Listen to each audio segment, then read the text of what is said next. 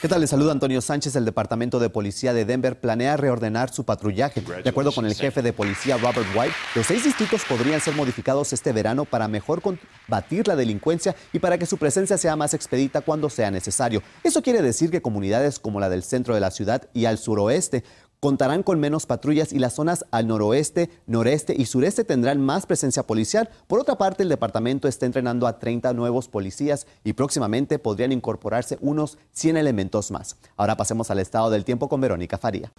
Gracias Antonio. Hola amigos, la mínima esta noche será de 40 grados. Esperan lluvias aisladas en algunas zonas y mañana continuaremos con las lluvias con una temperatura en el rango medio de los 60 grados para sus siete días del pronóstico extendido. Amigos, el miércoles mayormente soleado y subirá la temperatura a los 75 grados. Regresamos.